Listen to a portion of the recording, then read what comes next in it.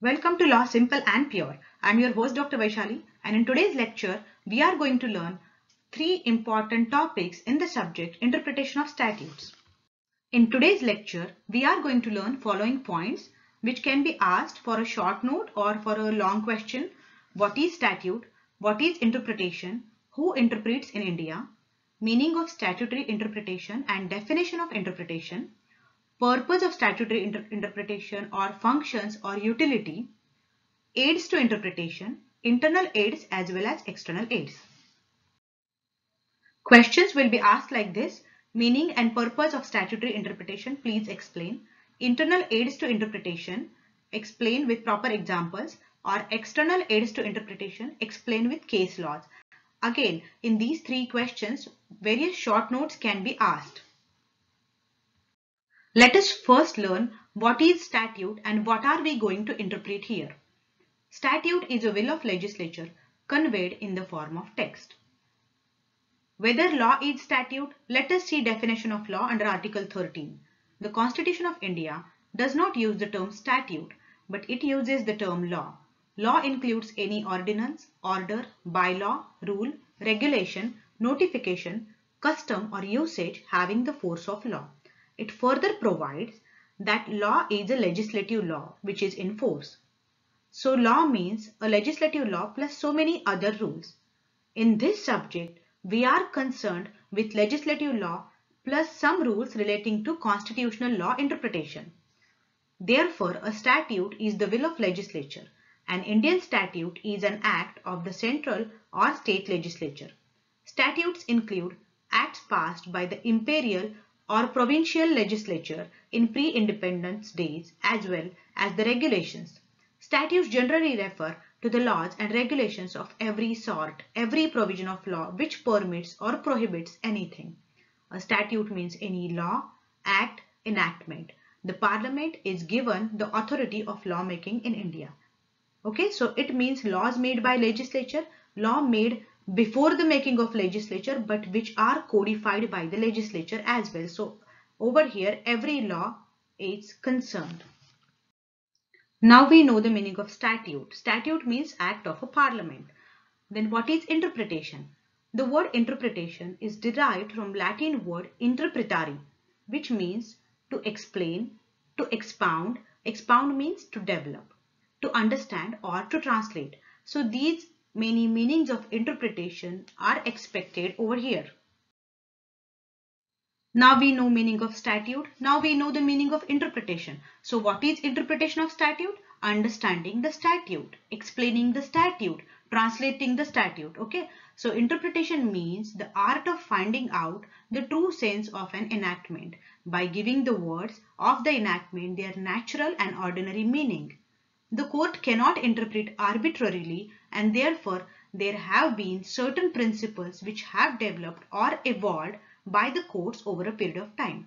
So these rules are developed by the courts. There is no law providing for interpretation of statutes or there is no act on how to interpret a statute. These rules are developed by judiciary for their convenience and these principles are called rules of interpretation. According to Blackstone, the most fair and rational method for interpreting a statute is by exploring the intention of the legislature through texts, the subject matter, the effect and consequences or the spirit of the reason of law. So according to Blackstone, how will you find the meaning of statute? By exploring the intention of the legislature through text. Text means what is written. The subject matter, it means that it is written about what?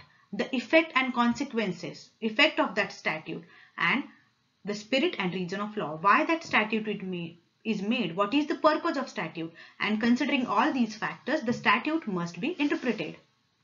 What is the meaning of statutory interpretation? Interpretation of statute is the correct understanding of the law by the courts. Black's Law Dictionary.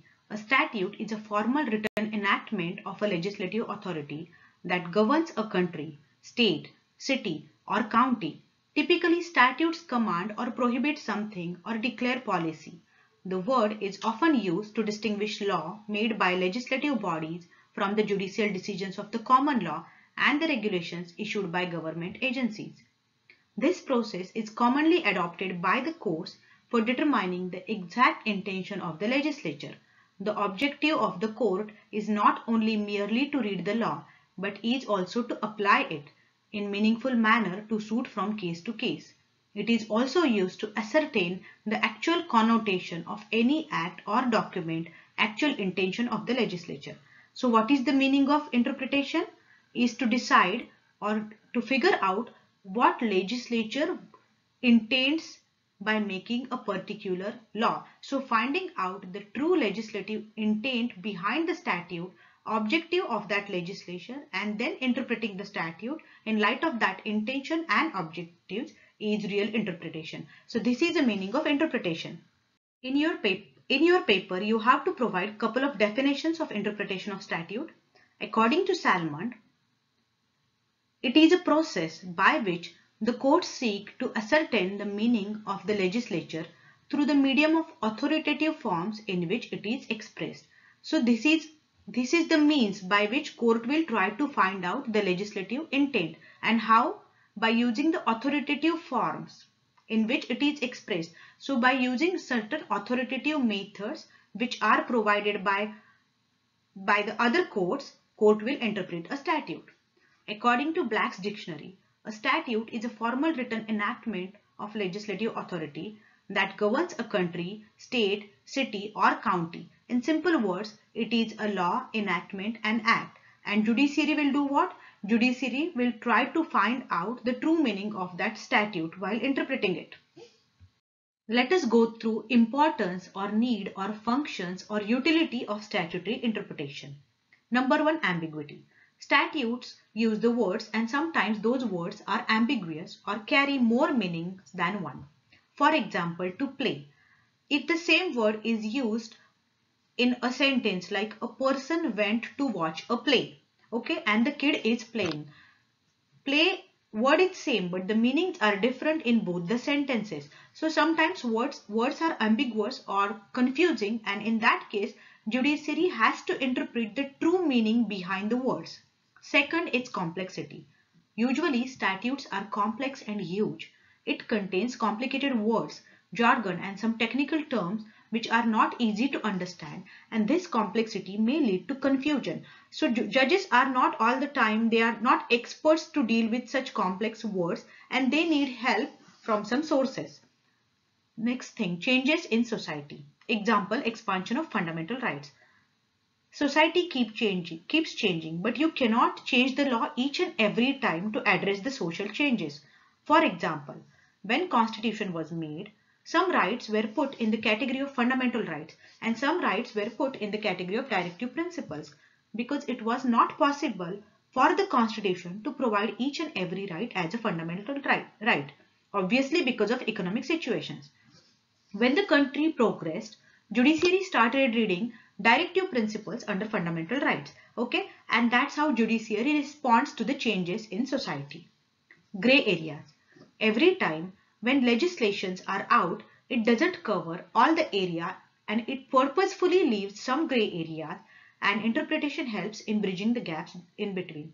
Because when the law is made the situation was something different and that situation keeps changing. So according to that changing situation those gray areas needs to be filled by the judiciary.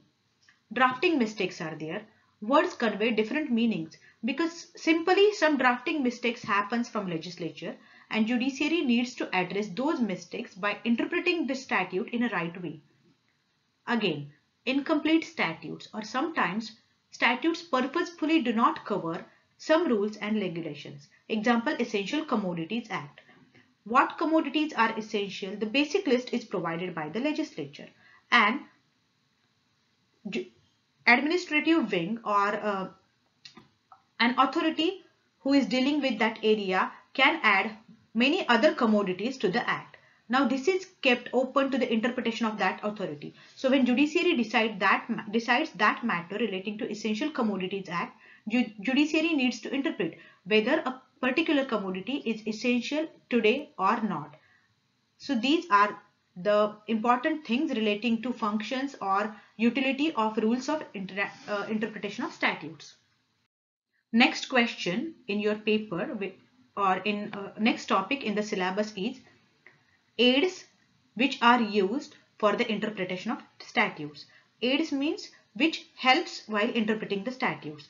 These rules relating to internal aids and external aids are made by the judiciary. There is no act on these aids but these are made for the sake of convenience by the judiciary itself. So in internal aids, first aid is short title. Every act comes with a short title and a long title. The short title of the act is given for the sake of convenience or easier referencing. It is merely a name given for identification of the act and not for description and generally ends with the year of passing of the act such as Indian Penal Code 1860, Indian Contract Act 1872, Indian Evidence Act 1872. Section 1 of CPC says this act may be cited as Code of Civil Procedure 1908. Section 1 of Indian Contract Act says this act may be called as Indian Contract Act 1872. Short title is a part of the act or statute but doesn't play any role in interpretation of any provision. It's not significant in extending or limiting any part of statute. Though short title is a part of a statute, it is not used while interpreting a statute. It is just made for the sake of easy referencing or sake of the convenience. So it doesn't help in the interpretation of statute. Second internal aid which is used in the interpretation of statute is long title. Long title is a kind of general description about the object of the act. The long title of CRPC says an act to consolidate and amend the laws relating to the criminal procedure. Long title of CPC says an act to consolidate and amend the laws relating to procedure of the courts of civil judicature. Earlier times, the long title was not considered as part of the statute and was therefore not considered as an aid while interpreting it. In recent times or in modern times, there are numerous occasions when help has been taken from the long title to interpret certain provisions of the statute, but only to the extent of removing confusion and ambiguities. If the words of the statute are clear, long title is not considered. So these are first two aids which are internal aids, short title and long title.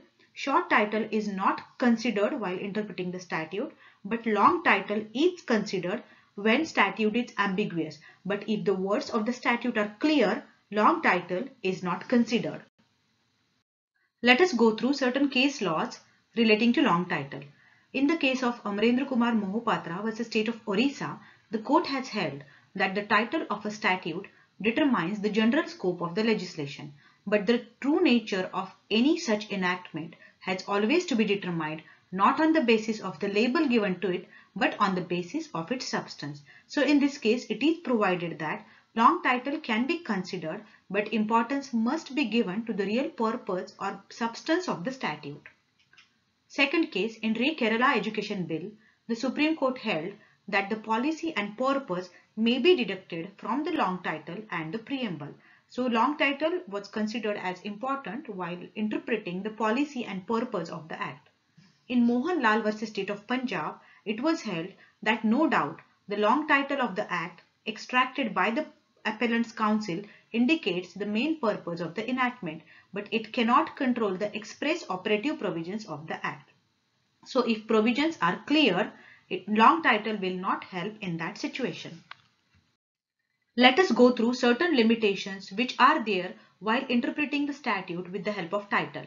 Number one, when language of the statute is clear, plain and precise and bear only one meaning, title need not be considered. It means when statute is clear, meaning it's plain, crystal clear and it is accurate and it leads to only and only one meaning, then no, no need to use title as an aid in interpretation. Second, title can be called in aid only when there is an ambiguity in the language giving rise to alternative construction. So if words are ambiguous and leads to more than two meanings, then title can be used for as an aid to the interpretation. Third, title cannot be used to narrow down or restrict the plain meaning of the language of the statute. So long title cannot be used to narrow down the plain meaning which is there in the statute. Next internal aid is the preamble of an act.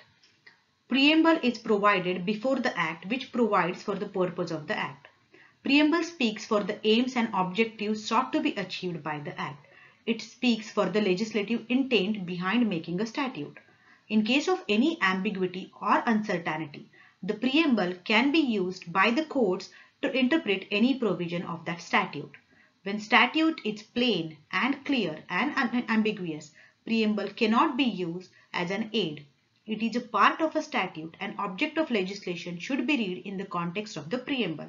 So usually when there is statute is clear and unambiguous, preamble is not used as an aid to the interpretation. But when there is a confusion, then yes, preamble can be used as an aid. In Keshwanand Bharti versus State of Kerala, it was clearly said that preamble can be used to interpret the true intention of the statute because intention of the statute is provided by the preamble. It provides for the objective of the preamble, why the stat statute it is made. Purpose of the statute is provided in the preamble and that's why it can be used as an aid as per Keshwanand Bharti. In Kashi Prasad versus State, the court held that even though the preamble cannot be used to defeat the purpose of the statute, it can be treated as a key for the interpretation of the statute.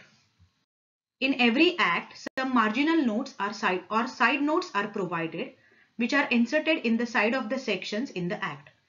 Earlier, help was taken from the marginal notes when the clear meaning of enactment was in doubt. In modern view of the courts is that marginal notes play no role.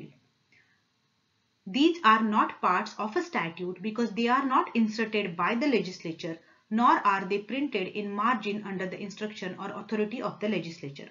These notes are inserted by the drafters and many times they may be inaccurate too. In Wilkes versus Goodwin Banks, it was held that the side notes are not part of the act and hence marginal notes cannot be referred.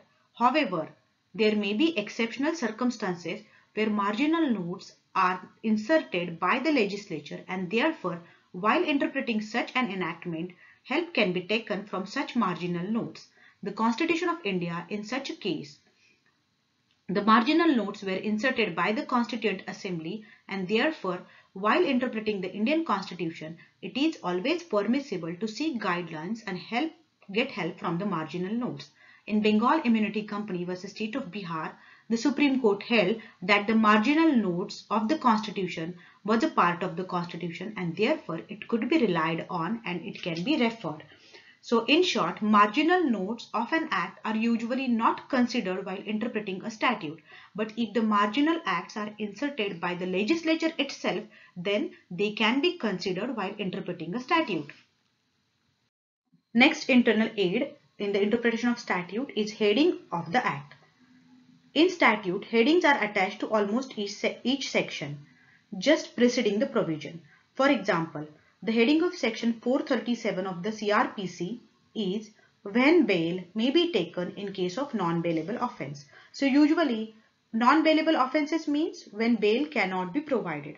But when it can be provided is provided under section 437. So this is a heading of section 437 and it can be used while interpreting the statute. Headings are not passed by the legislature while making the law, but they are subsequently inserted after the bill has become the law.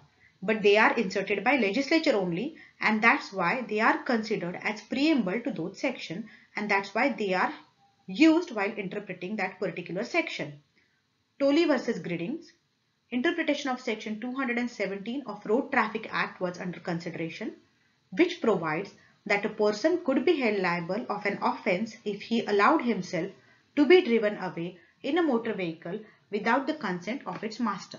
The heading of the provision is miscellaneous and general and subheading is penalization of taking motor vehicle without authority. Over here, servant took the motor vehicle without authority and subheading clearly provided for penalization of that and that's why he is liable for punishment. Penalization means providing punishment and Krishna versus State of Andhra Pradesh and others, it was held that heading prefixed to section cannot control the plain words of the provision.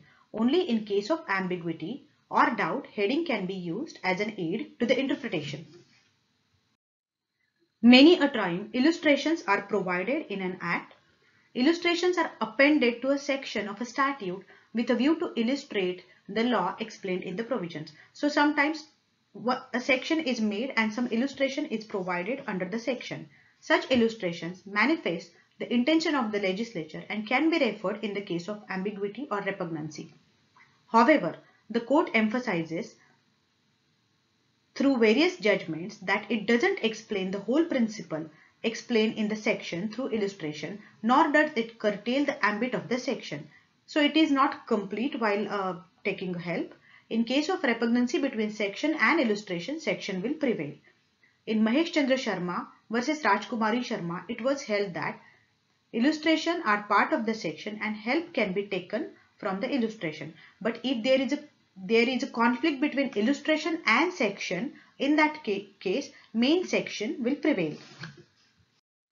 Lots of times, certain exceptions are provided when a rule is given under an act. Such exceptions are treated as a part of statute and they are used while uh, interpreting a statute. Exceptions are added with the purpose of exempting something which would otherwise fall within the ambit of main provision. So certain exceptions are provided. For example, defamation section 199 of IPC. There are 10 exceptions attached to section of defamation.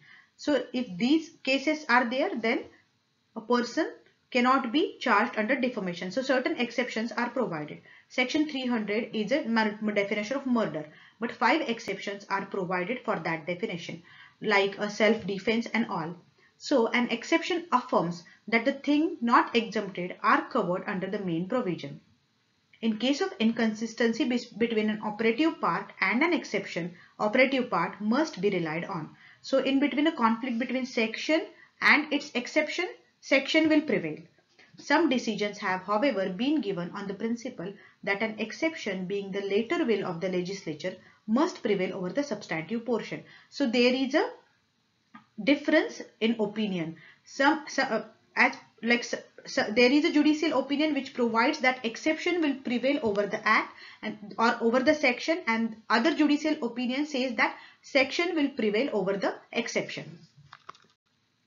Next type of internal aid is saving clauses. Saving clauses are generally attached in case of repeal and reenactment of a statute. It means when statute is repealed means cancelled and reenacted. By this, the rights already created under repealed enactment are not disturbed nor new rights are created by it. A saving clause is normally inserted in the repealing statute. So by saving clause, certain part of the old statute is stay, saved or protected. In case of clash between main part of the statute and a saving clause, the saving clause need to get rejected. Okay. So if there is a conflict between saving clause and main statute, then main statute prevails. Sometimes Act comes with schedules and punctuations. Schedules at the end contain minute, minute details for working out the provisions of the express enactment. The expression in the schedule, however, cannot override the provisions of the express enactment. In Jagdish Prasad versus State of Rajasthan and others, the Supreme Court ruled that the purpose of schedule is to advance the object of the main provision and deletion of schedule cannot wipe out provisions of the act in effect and spirit. So schedule is there to support or explain the act.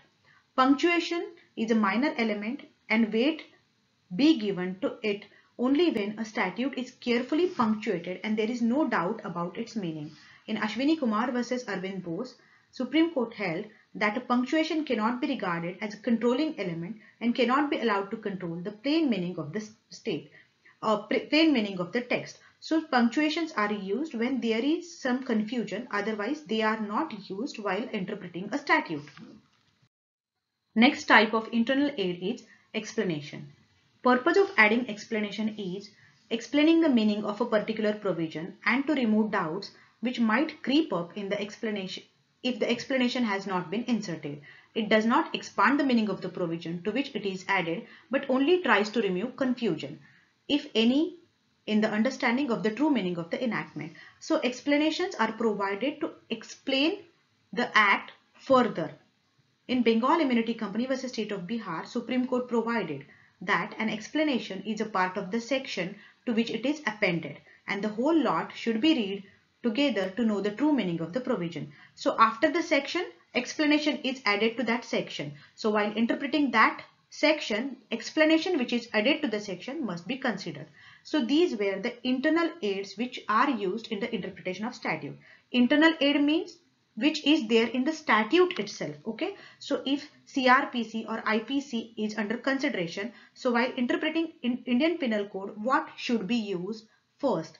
Long title will be used okay? Short title will not be used of a particular section. Some explanations will be used headings will be used marginal notes will be used so what will be used while using ipc which is there in ipc itself comes under internal aids to the interpretation internal aids mean which are there in the statute itself and which will be used to interpret the statute.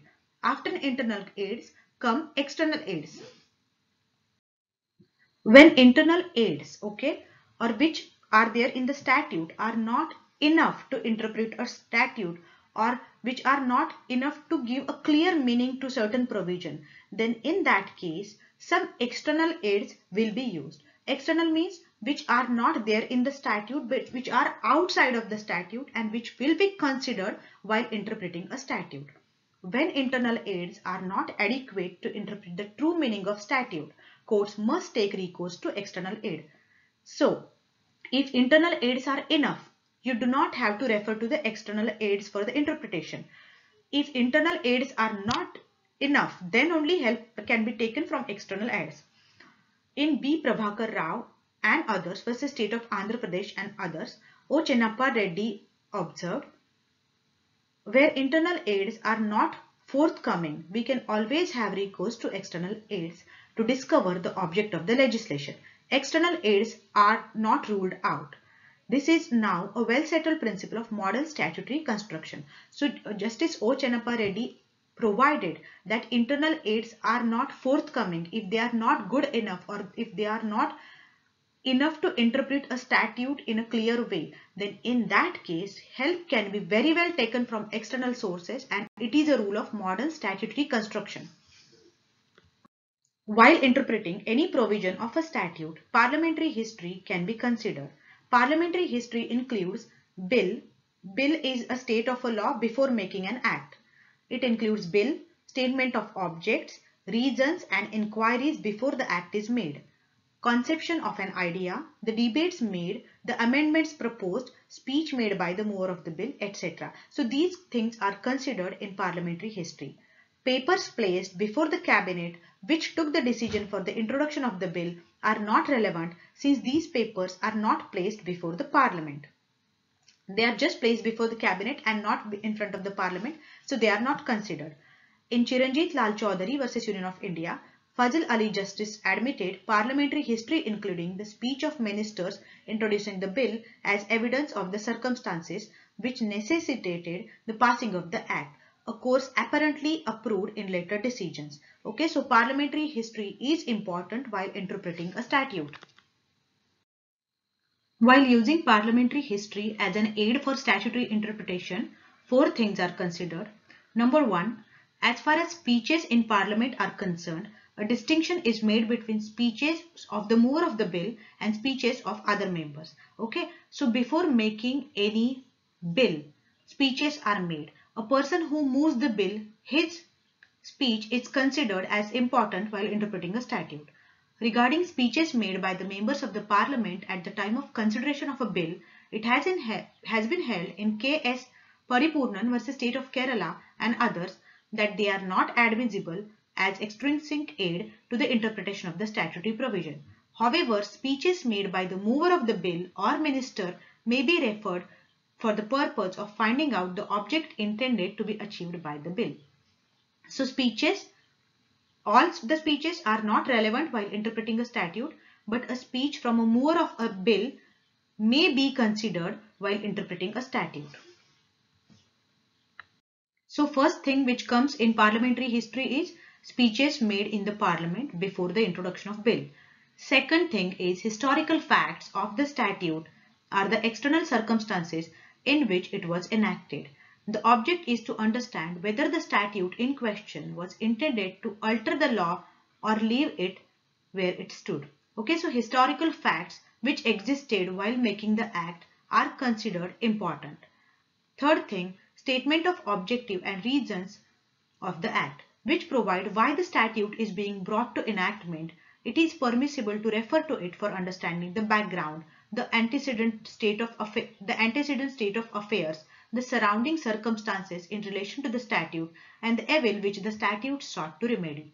For example, Child Marriage Restraint Act. The hist history of that act is yes, child marriages happen in Indian society. But objective is not to make each and every child marriage void, but to prohibit it from happening. But if legislature makes every child marriage void, what will happen? It will disturb the society because already lots of child marriages happen happened in society and this still keeps happening. So that act must be interpreted in the light of this situation. Next thing is reports of commissions including law commission or committees including parliamentary committee preceding to the introduction of a bill can also be referred to in the court as evidence of historical facts or of surrounding circumstances. So these many things, four things can be considered under historical inquiries and they can be used while interpreting a statute. Next external aid is General Clauses Act. So if a certain act is ambiguous or certain definition is not provided in that act, help can be taken from General Clauses Act.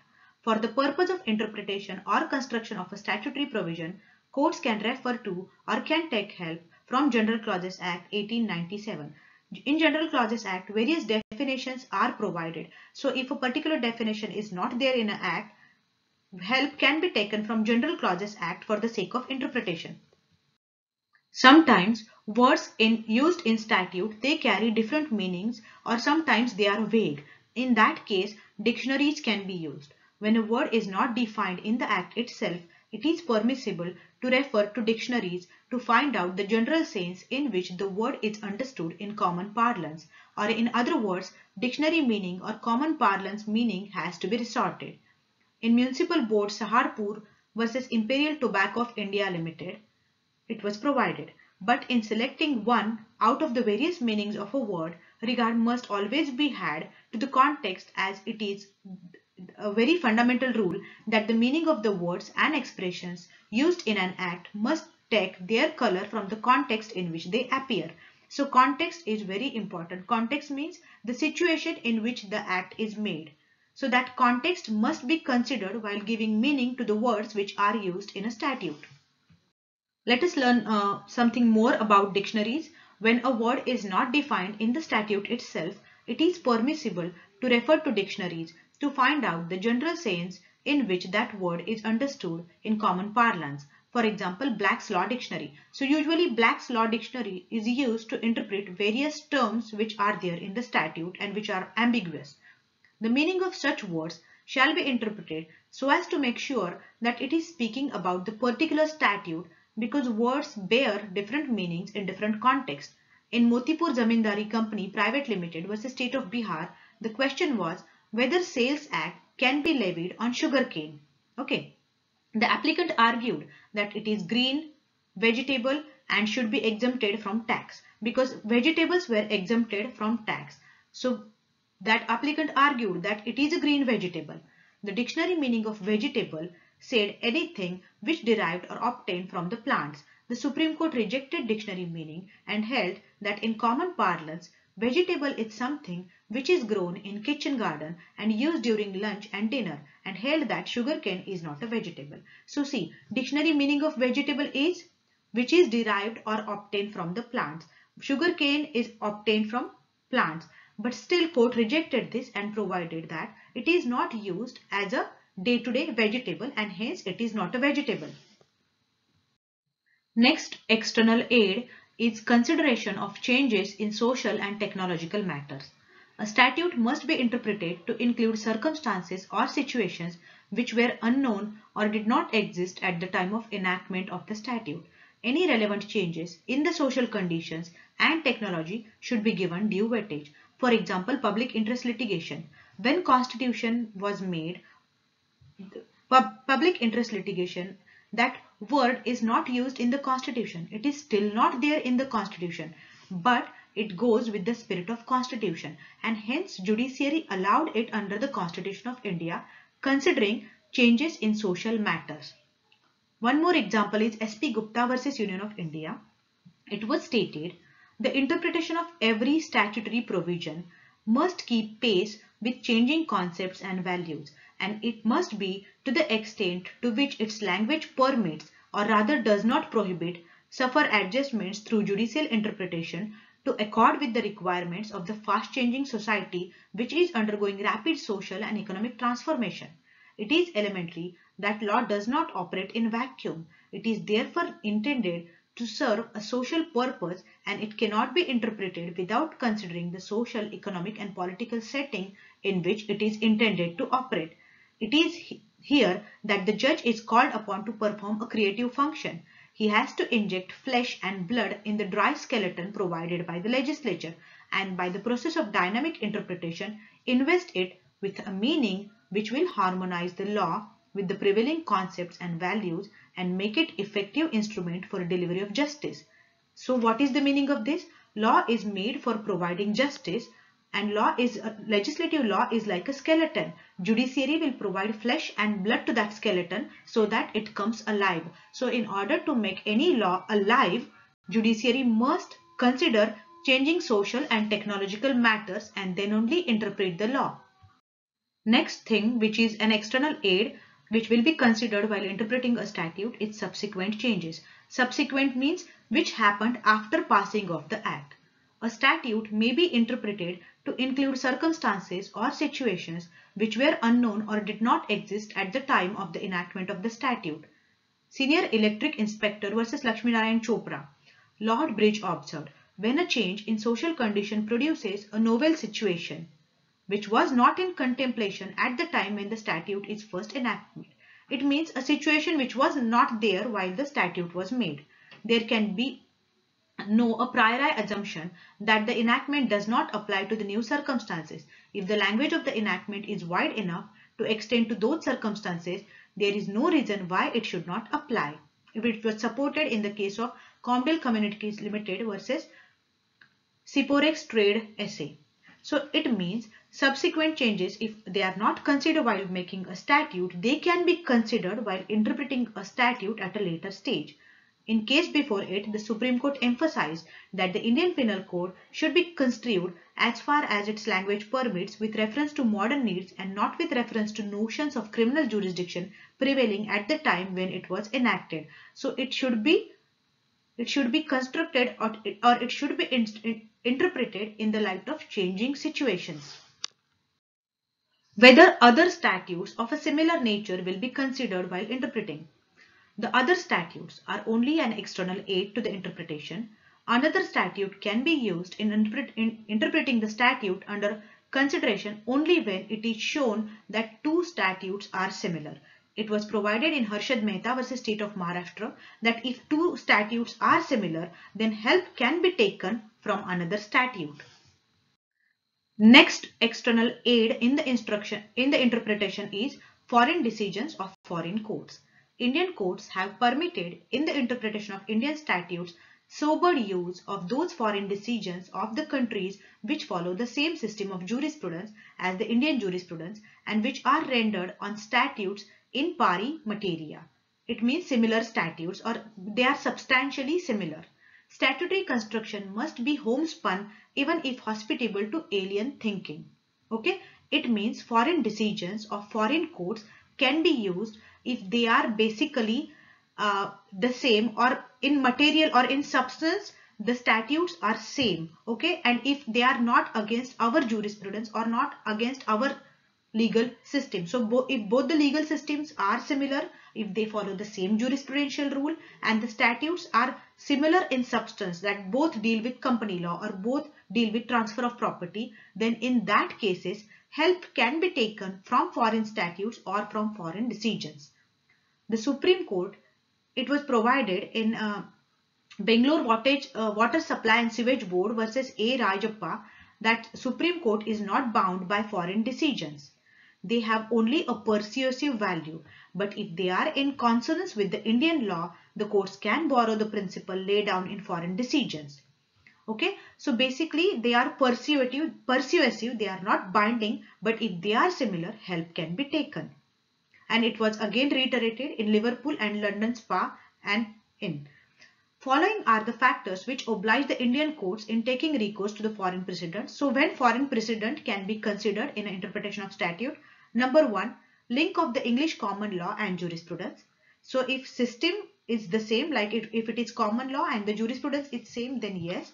Similarity of political thought and the use of English language or authoritative text of Indian statutes. So if these three conditions are fulfilled, then English statutes or any foreign statute can be considered while interpreting. There are so many textbooks, journals and reference books which are written on judicial decisions or on statute like Ratanlal Dhirajlal is there or Salmond on jurisprudence is there. So these books, do they carry any value while interpreting a statute? In arriving at a true meaning of enactment of a court's of the, the courts may refer to the textbooks also, but it is not necessary that the meaning given in the textbooks should correspond to the view of the court. It is in the discretion of the court to accept or reject the views given in the textbook which was referred to by the court. There are many instances of both rejection and acceptance of the views expressed in textbooks. So it is up to court whether they want to refer any journal or reference books. So usually academicians, they write in these textbooks or journals or reference books. So their opinion counts or matters, but it is up to judiciary whether judiciary wants to use it as an external aid or not. Today we discussed three important topics in our subject interpretation of statutes. What is statute? What is the meaning of statutes? What is interpretation of statute? Its utility, importance, various definitions. Then we considered internal and external aids to the interpretation along with proper case laws. In next lecture, I am going to cover important legal maxims involved in interpretation of statute and all the important rules like golden rule, mischief rule, literal rule and so on. So stay tuned till my next lecture. Goodbye and good luck.